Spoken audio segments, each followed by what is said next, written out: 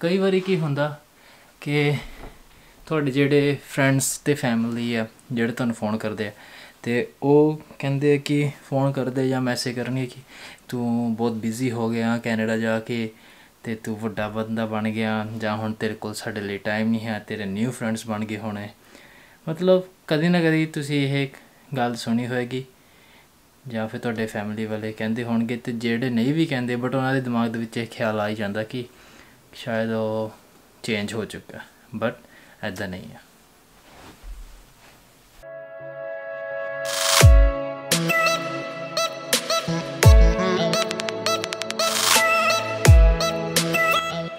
Change ਕੁਝ ਨਹੀਂ ਹੁੰਦਾ ਬੰਦਾ ਸਿਰਫ ਇੱਥੇ ਆ ਕੇ ਆਪਣੇ ਬਿਜ਼ੀ ਸਕੇਡਿਊਲ ਦੇ ਅਕੋਰਡਿੰਗ ਚੱਲਣ ਦੀ ਕੋਸ਼ਿਸ਼ ਕਰਦਾ ਤੇ ਚਲਦੇ ਚਲਦੇ ਉਹ ਇੰਨਾ ਬਿਜ਼ੀ ਹੋ ਜਾਂਦਾ ਕਿ ਫੈਮਿਲੀ ਫਰੈਂਡਸ ਵਗੈਰਾ ਨੂੰ ਕਾਲ ਕਰਨ ਦੀ ਬਜਾਏ ਉਹ ਆਪਣੇ ਪੇਰੈਂਟਸ ਨੂੰ ਵੀ ਰੋਜ਼ ਕਾਲ ਨਹੀਂ ਕਰ ਪਾਉਂਦਾ 7 hours later. ਇੱਥੇ ਹਰ ਇੱਕ ਕੋਈ ਕੰਮ ਕਰਦਾ ਲਾਈਕ ਜਦੋਂ ਬੱਚਾ ਇੱਥੇ 15 16 ਸਾਲ ਦਾ ਹੋ ਜਾਂਦਾ ਤੇ ਉਹ ਲੀਗਲੀ ਕੰਮ ਕਰ ਸਕਦਾ ਤੇ ਉਹ ਕੰਮ ਕਰਨਾ ਛੱਡ ਕੇ ਉਹਦੇ ਪੇਰੈਂਟਸ ਕੰਮ ਕਰਦੇ ਆ ਉਹਦੇ ਫਰੈਂਡਸ ਕੰਮ ਕਰਦੇ ਆ ਸੋ ਇੱਥੇ ਕੋਈ ਜਲ, ਜ਼ਿਆਦਾ ਵਿਹਲਾ ਨਹੀਂ ਹੁੰਦਾ। ਇਸ ਲਈ ਇੱਥੇ, ਇਸ ਲਈ ਸਾਰੇ ਜ਼ਿਆਦਾ ਕੰਮ ਕਰ ਰਹੇ ਤੇ ਜਾਂ ਫਿਰ ਸਕੂਲ ਕਰਦੇ ਤੇ ਕਈ ਤਾਂ ਸਕੂਲ ਤੇ ਕੰਮ ਦੋਨੋਂ ਹੀ ਕਰਦੇ ਆ। ਕਿ ਸਕੂਲ ਵੀ ਜਾ ਰਹੇ ਤੇ ਸ਼ਾਮੀ ਕੰਮ ਵੀ ਕਰ ਰਹੇ ਸੋ ਇਹ ਡਿਫਰੈਂਸ ਕਿ ਇੰਡੀਆ ਵਿੱਚ ਇਦਾਂ ਹੁੰਦਾ ਕਿ ਜੇ ਚਾਰ ਜਣੇ ਘਰ ਦੇ ਵਿੱਚ ਤੇ ਇੱਥੇ ਇੱਕ ਜਣਾ ਕਮਾਉਣ ਵਾਲਾ ਹੁੰਦਾ ਤੇ ਬਾਕੀ ਜਣੇ ਖਾਣ ਵਾਲੇ ਹੁੰਦੇ ਆ। ਤੇ ਬੱਚੇ ਜਿੱਦਾਂ ਹੁਣ ਮੈਂ ਵੀ ਸੀਗਾ ਤੇ ਜਦੋਂ ਤੱਕ ਤਾਂ ਕਾਲਜ ਸੀਗਾ ਅਸੀਂ ਕੰਮ ਵੀ ਨਹੀਂ ਕੀਤਾ ਨਾ ਕਰਨ ਦਿੱਤਾ। ਮਤਲਬ ਸਾਡੇ ਕੋਲ ਕੋਈ ਫ੍ਰੀ ਟਾਈਮ ਬਥੇਰਾ ਹੁੰਦਾ ਸੀਗਾ। ਚਾਹੇ ਅਸੀਂ ਆਪਣੇ ਦੋਸਤਾਂ ਦੇ ਨਾਲ ਬਾਹਰ ਘੁੰਮਣ ਜਾ ਰਹੇ ਹਾਂ ਜਾਂ ਵੇਲੇ ਗਲੀਆਂ ਦੇ ਵਿੱਚ ਖੜੇ ਆ ਜਾਂ ਕਿਤੇ ਵੀ ਹਨਾ ਕੋ ਕਿਤੇ ਵੀ ਚਲੇ ਗਏ ਫ੍ਰੀ ਬਹੁਤ ਫ੍ਰੀ ਟਾਈਮ ਬਹੁਤ ਹੁੰਦਾ ਸੀਗਾ। ਪਰ ਇੱਥੇ ਆ ਕੇ ਉਹ ਚੀਜ਼ਾਂ ਨਹੀਂ ਹੈਗੀ। ਇੱਥੇ ਦਾ ਜਿਹੜਾ ਕਲਚਰ ਹੈ ਇੱਥੇ ਦਾ ਜਿਹੜਾ ਅਹ, ਜਿਹੜਾ ਲਾਈਫ ਸਟਾਈਲ ਹੈ ਬਹੁਤ ਚੇਂਜ ਆ। ਇੱਥੇ ਕੰਮ ਕਰਦੇ ਲੋਕੀ ਤੇ ਉਸ ਤੋਂ ਬਾਅਦ ਪੜ੍ਹਦੇ ਆ ਤੇ ਜਾਂ ਫਿਰ ਕੁਛ ਨਾ ਕੁਛ ਆਪ, ਮਤਲਬ ਆਪਣੇ ਆਪ ਨੂੰ ਬਿਜ਼ੀ ਰੱਖਣ ਦੀ ਕੋਸ਼ਿਸ਼ ਕਰਦੇ ਆ। ਸੋ ਇਹ ਨਹੀਂ ਹੈ ਕਿ ਇੱਥੇ ਆ ਕੇ ਬੰਦਾ ਚੇਂਜ ਹੋ ਜਾਂਦਾ।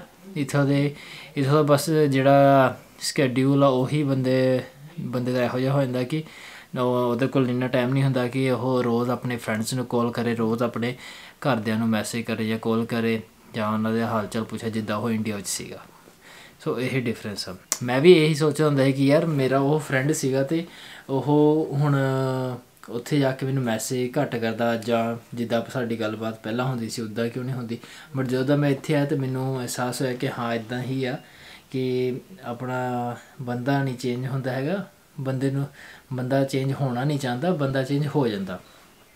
ਸੋ ਜਦੋਂ ਵੀ ਤੁਹਾਡਾ ਕੋਈ ਫਰੈਂਡ ਜਾਂ ਫਿਰ ਕੋਈ ਫੈਮਿਲੀ ਮੈਂਬਰ ਕਿ ਅਬਰੋਡ ਆਇਆ ਦਾ ਸਟੱਡੀ ਦੇ ਲਈ ਤੇ ਤੁਹਾਨੂੰ ਮੈਸੇਜ ਨਹੀਂ ਕਰ ਪਾਉਂਦਾ, ਤਾਂ ਇਹ ਨਾ ਸੋਚੋ ਕਿ ਉਹ ਚੇਂਜ ਹੋ ਗਿਆ ਜਾਂ ਉਹ ਵੱਡਾ ਬੰਦਾ ਹੋ ਗਿਆ।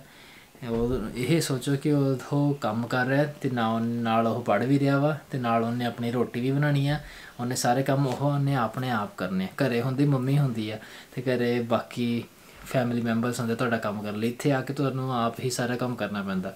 ਸੋ ਇਸ ਲਈ ਬੰਦੇ ਦਾ ਜਿਹੜਾ ਸਕੇਡਿਊਲ ਆ ਬਹੁਤ ਜ਼ਿਆਦਾ ਕੰਜਸਟਡ ਹੋ ਜਾਂਦਾ। ਸੋ ਉਹਦੇ ਕੋਲ ਟਾਈਮ ਬਹੁਤ ਘੱਟ ਬਚਦਾ ਵਾ। ਉਹ ਸਿਰਫ ਵੀਕਐਂਡਸ ਤੇ ਜਾਂ ਫਿਰ ਜਦੋਂ ਉਹਨੂੰ ਛੁੱਟੀ ਹੁੰਦੀ ਹੈ ਉਸ ਦਿਨ ਬਚਦਾ ਤੇ ਉਸ ਦਿਨ ਵੀ ਉਹਨੇ ਉਹੀ ਕੰਮ ਕਰਨੇ ਹੁੰਦੇ ਆ ਜਿਹੜੇ ਉਹਦੇ ਕੰਮ ਸਭ ਬਾਕੀ ਦਿਨ ਤੋਂ ਪੈਂਡਿੰਗ ਪਏ ਹੁੰਦੇ ਜਿਵੇਂ ਲਾਂਡਰੀ ਹੋ ਗਈ ਜਾਂ ਰੋਟੀ ਬਣਾਉਣੀ ਜਾਂ ਇਦਾਂ ਦੇ ਛੋਟੇ ਮੋਟੇ ਕੰਮ ਹੋਰ ਹੁੰਦੇ ਆ, ਜਿਵੇਂ ਗਰੋਸਰੀ ਲੈ ਕੇ ਆਣੀ ਸੋ ਇਹ ਸਭ ਛੋਟੀ ਛੋਟੀ ਗੱਲਾਂ ਨੇ। ਜਿਵੇਂ ਹੁਣ ਮੈਂ ਹੁਣ ਆਪਣੀ ਹੀ ਗੱਲ ਕਰਦਾ ਤੇ ਮੈਂ ਪਹਿਲਾਂ ਕੰਮ ਤੇ ਗਿਆ ਸੀ ਤੇ ਹੁਣ ਮੈਂ ਘਰੇ ਵਾਪਸ ਆਇਆ ਵਾਂ। ਤੇ ਹੁਣ ਘਰੇ ਵਾਪਸ ਆਇਆ ਵਾਂ ਤੇ ਸੌਣ ਤੋਂ ਪਹਿਲਾਂ ਜੇ ਅਗਰ ਟਾਈਮ ਮਿਲ ਜਾਂਦਾ ਤਾਂ ਘਰੇ ਫੋਨ ਕਰਕੇ ਗੱਲ ਕਰ ਸ- ਕਰ ਲੈਂਦੇ ਆ ਤੇ ਕਈ ਵਾਰ ਜਦੋਂ ਵੀ ਟਾਈਮ ਥੋੜਾ ਜਿਹਾ ਵੱਧ ਹੁੰਦਾ ਤੇ ਬੰਦੇ ਦੇ ਜਿਹੜੇ ਵੀ ਆਪਣੇ ਆਪਣੇ ਸ਼ੌਂਕ ਹੁੰਦੇ ਬੰਦਾ ਉਹਨੂੰ, ਉਹਦੇ ਉੱਤੇ ਧਿਆਨ ਦਿੰਦਾ, ਹਾਂ ਕਿ ਕਿਉਂਕਿ ਬੰਦਾ, ਮੈਂ ਇਹ ਬਲੀਵ ਕਰਦਾ ਕਿ ਬੰਦਾ ਸਭ ਸੇ, ਸਭ ਤੋਂ ਪਹਿਲਾਂ ਆਪਣੇ ਆਪ ਨੂੰ ਪਿਆਰ ਕਰਦਾ। ਉਸ ਤੋਂ ਬਾਅਦ ਉਹ ਦੂਸਰੇ ਬਾਰੇ ਸੋਚਦਾ ਵਾ, ਹਨਾ? ਆਪਣੇ, ਉਹ ਤਾਂ ਚਲੋ ਰਿਲੇਸ਼ਨ ਜਿੱਦਾਂ ਆਪਣੇ ਹੈਗੇ ਆ ਪੇਰੈਂਟਸ ਦੇ ਨਾਲ ਉਹ ਤਾਂ ਹੈਗੇ ਹੀ ਹੈਗੇ ਆ। ਬਟ ਜਦੋਂ ਆਪਾਂ ਇਕੱਲੇ ਰਹਿ ਰਹੇ ਹਾਂ ਤੇ ਹਾਂ, ਆਪਾਂ ਦੇਖਾਂਗੇ ਕਿ ਸਾਡੇ ਲਈ ਮੇਰੇ ਕੋਲ ਆਪਣੇ ਲਈ ਟਾਈਮ ਬਚ ਰਿਹਾ ਵਾ। ਜੇ ਮੇਰੇ ਕੋਲ ਆਪਣੇ ਲਈ ਟਾਈਮ ਬਚ ਰਿਹਾ, ਫਿਰ ਮੈਂ ਜਾ ਕੇ ਆਪਣੇ ਫਰੈਂਡਸ ਫੈਮਿਲੀ ਦੇ ਨਾਲ ਗੱਲ ਕਰਨ ਬਾਰੇ ਸੋਚੂੰਗਾ। ਤੇ ਉਹ ਜੋ ਕਿ ਹਮੇਸ਼ਾ ਜ਼ਿਆਦਾ ਜਦੋਂ ਛੁੱਟੀ ਹੁੰਦੀ ਹੈ ਉਸੇ ਦਿਨ ਹੁੰਦਾ। ਤੇ ਜਾਂ ਫਿਰ ਕਦੀ ਸ਼ਾਮੀ ਕੰਮ ਹੁੰਦਾ ਤੇ ਰਾਤ ਦੇਰ ਤੱਕ ਜਾਗ ਲਈਦਾ ਫਿਰ ਉਦੋਂ।